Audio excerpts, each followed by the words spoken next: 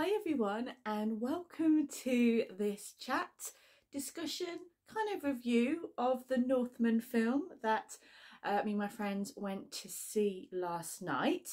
Um, it's not a, a straightforward film review because I'm coming at it from the perspective of someone who is very interested in magic, in shamanic practice, and in Viking Age Nordic religions. So that is the areas I'm going to be looking at, but I will be geeking out probably overly about some of the details that I absolutely loved about the film and you know the stuff that wasn't quite my cup of tea. Um, I will do my very best not to spoil the film, do any spoilers. I can't promise, so do check in the box below and I will write at the end if I accidentally do put the odd spoiler in there. I will do my best not to. Um, first of all, warning alert, I am a wuss you know, really full on, bloody, tense, nasty, violent films. I generally, anyone knows me, do not touch with a barge pole. I'm not a horror film fan. I feel like I deal with life and all its supernatural stuff pretty well. I don't fill my head with stuff I don't need to. That's my uh, uh, was a little excuse there. But um, I am a student of Viking Studies at uh, the University of Highlands and Islands. I'm studying an MA in Viking Studies and I am super passionate and fascinated in history, in Nordic history, in Celtic history, and basically Anglo-Saxon history. Very, very um, much a geek about that and the sacred land, the sacred sites. So if you don't know me, or if you do know me, you haven't seen my channel for a while, I am Laura Daligan. Hello, nice to see you here. And as I mentioned, I'm a student of Viking Studies, but I am also an artist and I have been practicing as a witch for gosh knows how many years. And I'm a tarot reader and I'm a teacher of all the, the, the magic that I create. Um, I've also recently been uh, super honoured to be working as a consultant, uh, a freelance consultant for some of the exhibitions at the British Museum, including the Stonehenge exhibition that's been on recently, that's still on. Please go and see it. My contribution was tiny, it was like this big, but my name's in there. And I've been very humble and not talking about it at all. Of course, I've been talking about it all the time. Um, so yeah, and also I have more involvement in the forthcoming uh, a feminine power exhibition um, that's coming for the British Museum as well. So it's all super exciting. Um, and I wanted to, I was excited about seeing The Northman. I was excited for several reasons. Um, because I heard about the historical accuracy. That's what everyone was talking about, the historical accuracy. And I was like, oh, yes. Um, I, since I've been studying, I've been a bit of a nightmare about historical accuracy. I've been a bit annoying. Not because we know exactly at all what went on in the Viking era, or particularly in in the Viking era era and in sort of Nordic history, because it was not it was an oral culture. It was a culture that passed on their law and their laws and their religion uh, in oral and ritual and sto- you know stories and songs and traditions. It was not written down, so you've only got um, things that are written down either a few hundred years later uh, the Eddas and the source material, um, or uh, by, of course, people who didn't particularly like the Vikings or didn't like, the, you know, their victims, or uh, basically when Christianity, when they were converted to Christianity, that's when things started to get written down. So you haven't got that um, first person written account. And even if you do, you, you know, we cannot, unfortunately, time travel. But um, you know, we can't have oh yes, it's 100% historical accuracy. There are so many gaps in our knowledge. So it's not that I'm going, hmm, this is not perfectly accurate. Like I don't know, and I, also I'm just a student. I'm still learning and learning and learning.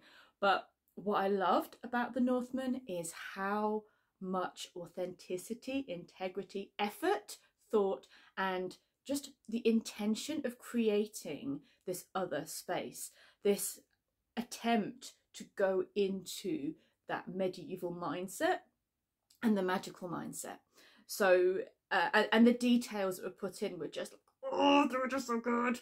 Uh, and of course, you know, um, this is the film itself, um, the, or the story itself is based upon um, a story from Saxo Grammaticus, book four, where the story of Prince Amleth is written. Of course, this is definitely not exact the same as, as the Northman, um, and also it is the the story that Hamlet is sort of also based on as well. So uh, there's a lot of loose spacing here, but the stories you can see, you can recognise bits of, of course, the, uh, the story in Saxo Grammaticus and also from Hamlet as well. There's lots of weavings there.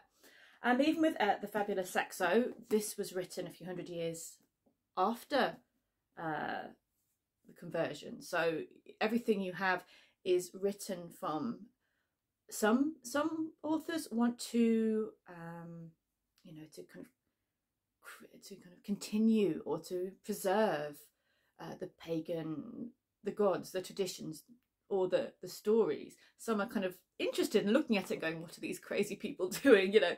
Um, but it is all, all written from a, a, few hundred years later. However with the source materials i'm always just super happy that we have them. Like we can moan about them as much as we like but we have them. And because we have them we have the the descriptions um, from Adam Bremen of the temples in Uppsala. You know we have the stories of the gods that we you know that the marvel films are loosely based on now. You know we have those stories of um, of Odin, of Thor, of Freya, of Frey, of the the different adventures they went on to, and we can unpick the meanings behind them. So we have them, and that is brilliant. So anyway, I'm trying not to go off off the topic of the Northman of the film. So yes, um, it is loosely based on uh, Prince Amleth's story in uh, which is a fictional, true, fictional, true uh, saga.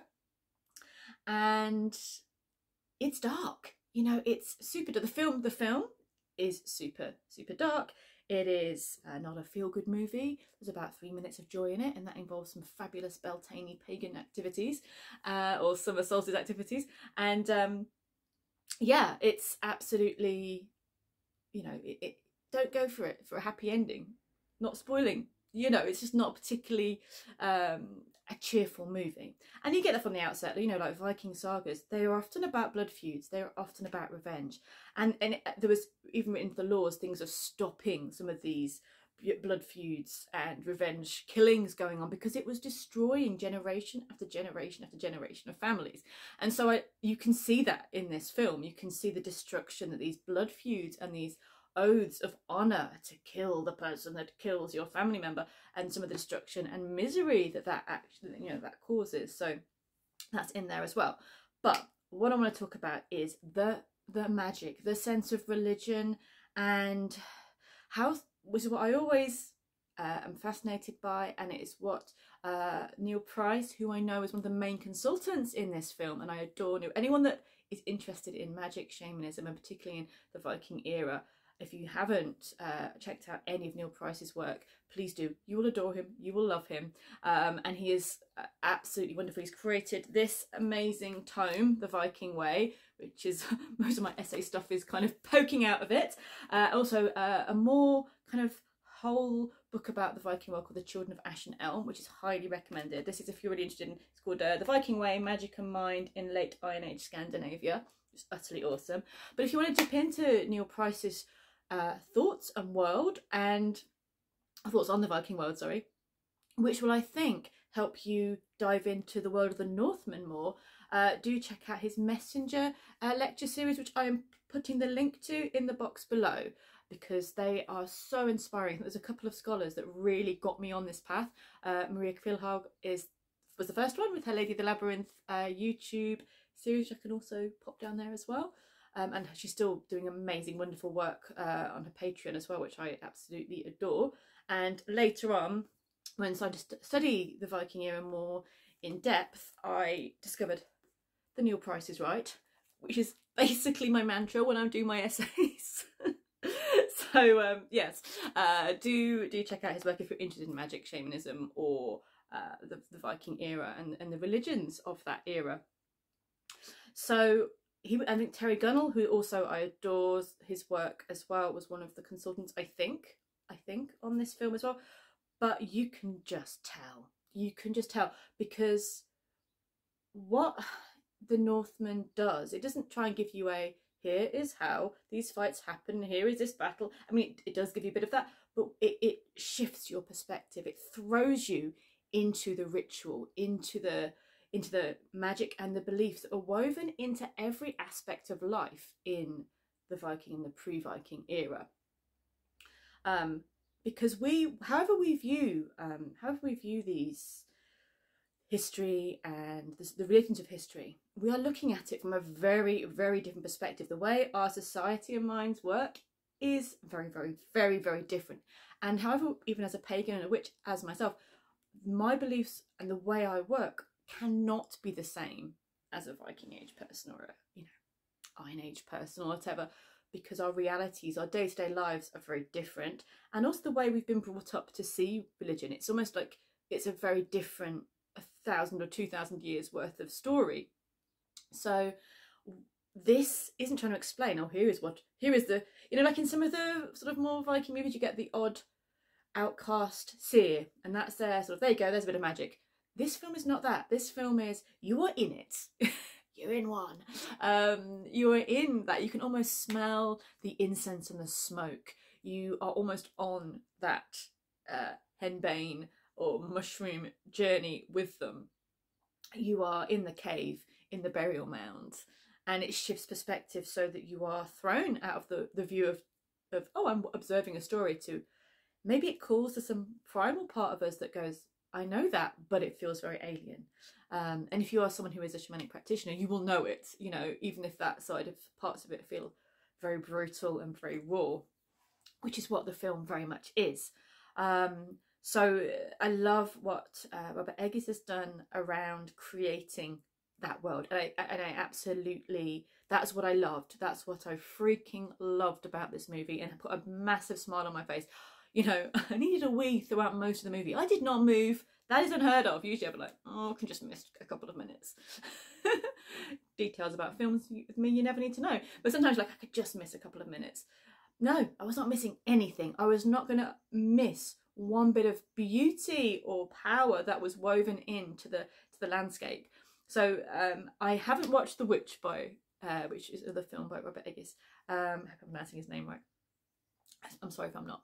Um, because of what I told you at the beginning, the caveat at the beginning, I'm a wuss. And I heard it's really, really scary. and you probably think that, you know, of me for different things. But it's like my witchcraft and my world I can deal with. But people putting very chaotic thoughts in my head sometimes is a bit, yeah.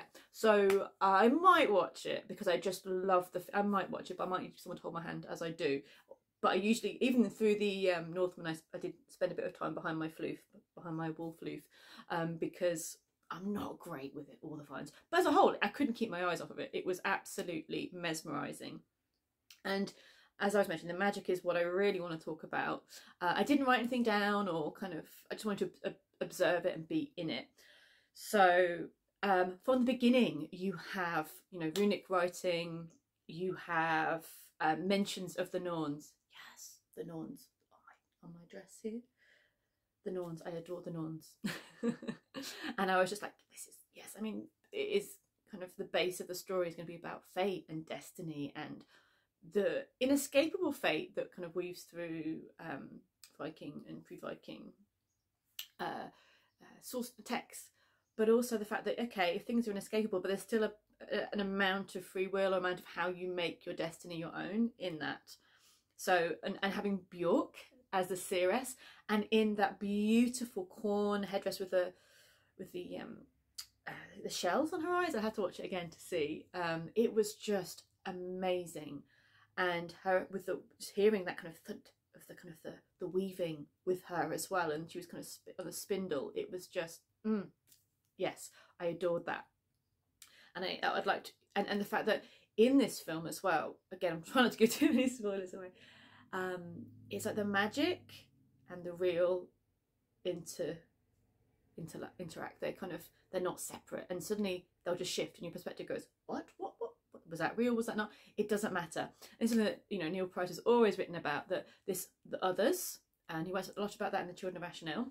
Um, the others were, you know, and I'm probably paraphrasing him here, uh, were an everyday part of, of, of life. They were not separate. Like you don't go to church on a certain day you don't kind of do that at a certain time and the rest of your life is your own even if you didn't weren't religious or you weren't interested in interacting with the not just the gods but more like the just the, the the deities and the spirits of everyday life and the ancestral spirits you didn't have any interest in working with them, you would have an, an awareness of them. You'd have known and you'd know what maybe where to go, what not to go. And it could have been a comfortable or an uncomfortable thing. Um, and that interweaving of those world worlds and the other being a part of, of, of your life is very much seen in in the Northman.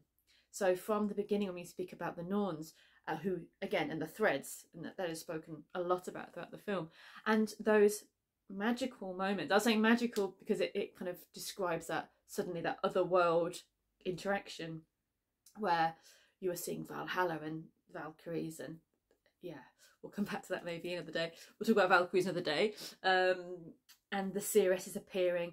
And to the bit which I actually really liked about um, going into the burial mound to claim the magical sword and the fight in that because there are zombie like creatures in um not creatures but the dead kind of the unsettled dead are also a big part of, of the sagas as well, and that was in there. Um, of course, that as much as possible, the clothing and everything was done, and the jewelry, amazing, amazing details of the jewelry as well. Um, to as best as things could be done, like because clothing is perishable, and a lot that we know about the clothing is from burials.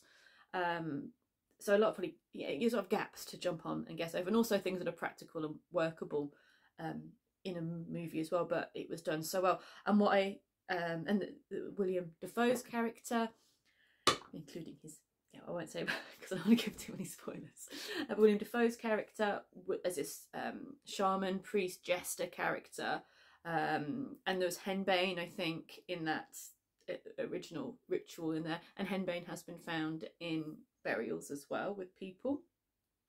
Um, and the, the sort of the the, the journeys, the, the, the rituals where things like Yggdrasil were incorporated and seeing your family as part of Yggdrasil and um, and the Queen Nicole Kidman um, Gudrun's um, uh, uh, chambers. And there was the Oseberg you know a, a, version or a reconstruction a creation of the um, the tapestry which is a beautiful tapestry um, found in the Oseberg burial, ship burial in Norway, which has amazing details about sacrifice and about fate and Norns and maybe Valkyrie, and, and it's a very, very beautiful, powerful, and interesting tapestry. So those, those bits put in there were just wonderful. Um, so also about the so go back to William Dafoe's character, and later on there is another um, witch. I think that's what uh, uh, Amleth calls him and and which he calls the, male character. And and I love in that that um the the male witch has these um like let me go I've got them here tortoise or figure tortoise brooches uh, on his um costume. Because that is for for a man to be a witch from what we can tell in the Viking for a man to be a witch it was ergi. And ergi is a kind of perversion and linked to feminine. If for a man to be ergi, it was linked to being feminine. We can talk about more of that another time, for sure. so the fact that he's cross-dressing and an ergi, um, it is a massive insult by all accounts, really, um, to call someone ergi. Uh, you know, punishable by outlawry or death. Um, but yeah, anyway, I digress. But the fact that he was wearing those, he was cross dressing, he was wearing women's clothing as well as this kind of big animal hide and working a shamanic practice. I just love that attention to detail as well. Um, so consulting the seers was something I think in the in the um, movie, I I felt like I was a part of. I could, I was smiling from ear to ear. Um, a lot of the violence, it wasn't as bad as I thought. I was preparing myself, but you know, you know what you like you know because what I, you know it wasn't as bad it was expected violence. It didn't overly go into the death scenes which i was happy about um which is kind of it, it was what it was. There were some bits which were kind of more oh yeah yeah and everyone that's seen it. Will know which those bits are. But um as a whole and actually some of it was a bit comic. I think i laughed at some bits. I didn't mean to. I just kind of like you know just because it was a bit the way it was done um which is maybe it's more like that way of uh dealing with uh, dark stuff is that kind of humor but yeah Um, so we have those magical characters appearing throughout who were so well researched, so well um, depicted, and it, it, it just made an absolute joy. And I've never seen that before. You know, I've never seen that um, that the the Viking medieval mind and world to be put on a cinema screen and shown to us in that way it was just and, and in a, a, way that someone who has researched it and who loves it and who's passionate about it goes yes thank you. Um, and again it's not people looking for a movie that this is exactly how the vikings lived. No it's a story and it's a story of a story you know and it's a creative story with a vision that the you know the director had but also taken from a story with its own tropes and context at the time. Um, one would hope that even though life was um, brutal and they were showing that really clearly. There was no glamorizing the characters, which we'll come back to in just a sec, actually, because I want to talk about the Berserkers in just a sec. Um, there was no glamorizing it, but it was focusing very much on the violence and the blood and the, and the, and the, that, the darker, more tragic side of life. So, and the story itself, people have been, I've heard people complaining that it is a typical revenge story. It's like, of course it is. It's based on a Norse saga and a Nordic saga, and, and that is you know that is a big theme in a lot of the nordic sagas. So i like that authenticity of, of kind of keeping to it not trying to make it too much more complicated just keeping it to a, a nordic saga and also more throwing us into that world of magic. So looking at the berserkers which is uh, again a contentious issue to whether they're real. I think they were and there are that's just my opinion it is a contentious issue and there are um, uh, metal figurines and plates and um, carvings showing um, men in animal or bear skins or wolf skins dancing. You know, there is that.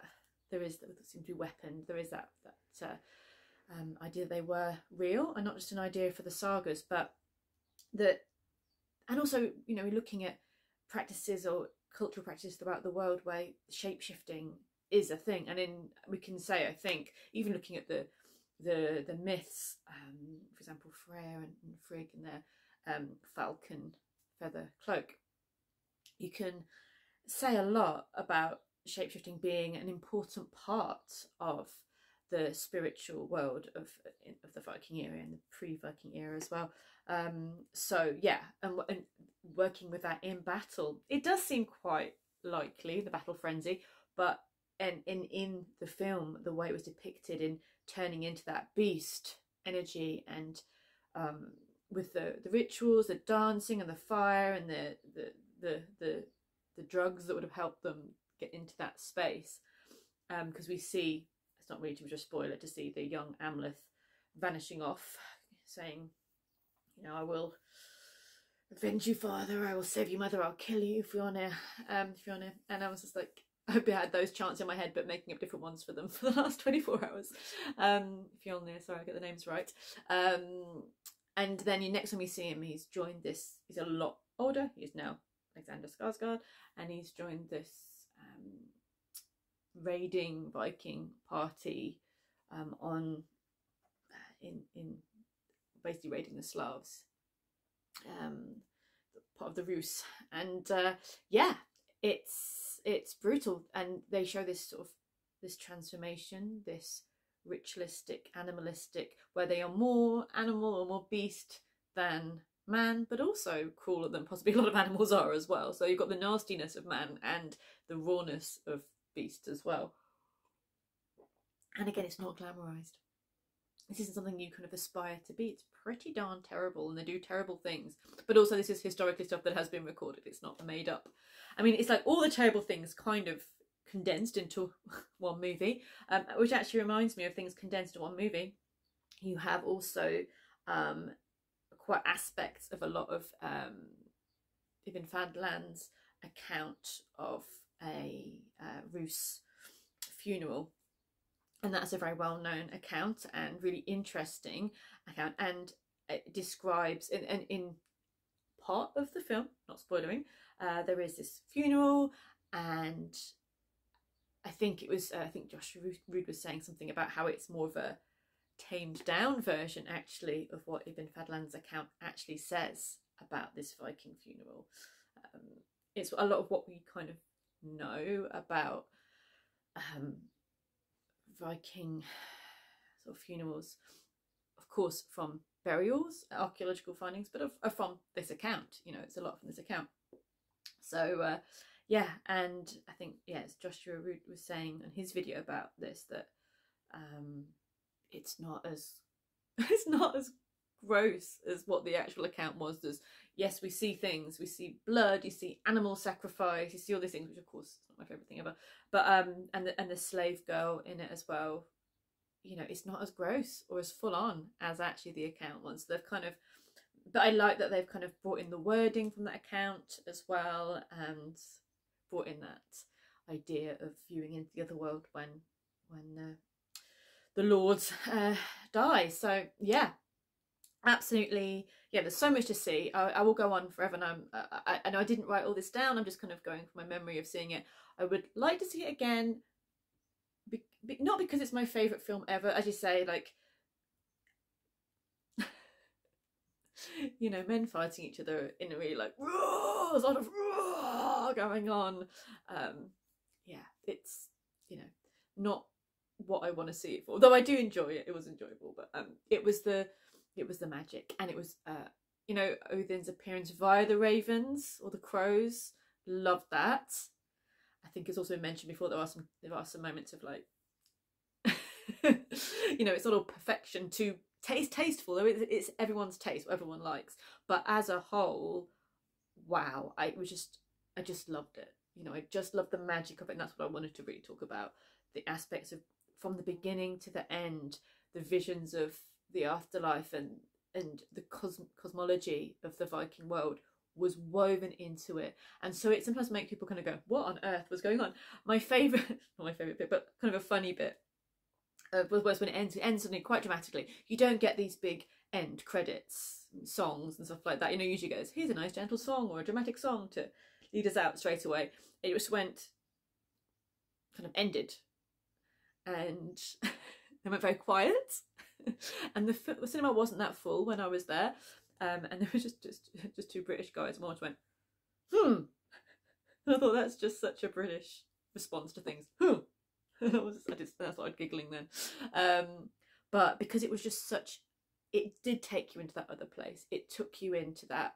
It, it was an attempt to really deeply and intentionally connect with how we can only imagine but also being human as well. There are things that, okay, we can imagine, but also you can do a really good job of just being human and just working out, you know, different paths into shamanic practice, into the other world. But to go into that and to create that other space where is that happening, is that not? You see bits and you go, is that real or is it not? Um, and actually, the fact is that I think both is true. And also, just things like the, the way the Viking or the, the Viking village was built. Um, I know that Robert Eggers, um, you know, found out did it actually properly using the right woods and using the building techniques and the boats. I think were as historically accurate as they possibly can be. And just very very quickly, there was one uh, shield maiden, whatever, one female warrior. Huge bloody contention. I'm not going to go into it now because I'm going to end this video very shortly. But um, yeah, it's a fact that a lot of modern depictions of, of, of, Viking films have all these women, and we just don't have the evidence that was the case. Like for men to be a witch was ergi, for a woman to, you know, cross dress herself and give up that female life, as it were, which would have been having children, da da da. We and there's a whole load of things, and I'm, there's so much to say here. I'm just gonna have to sort of rein myself back in. But the fact is, we don't have as yet, right now, the evidence that there were loads and loads and loads of shield maidens. There may have been, and I'm not writing it out. But because of that, they kept there was one very wild woman in that, and I just loved it. I love the fact that they made that as not a commonplace, but also how quite terrifying she was and quite amazingly fierce she was as well. So I hope you enjoyed that little chat discussion about the film and the magic involved in the Northman and a bit about the historical geekiness. Um, if you do like this video or you like videos like this, I have written essays about these subjects and if you would like me to uh, make videos about them and about these subjects do let me know I'll probably do it anyway but I just want to know if there's something you'd be interested in. Um, but thank you for watching and let me know your thoughts about the movie. Uh, again, most of it's my opinion and also looking into what I have researched and what I have um, looking into about Viking mythology. But thank you so much for watching. Have a great day and I'll see you guys soon. Take care.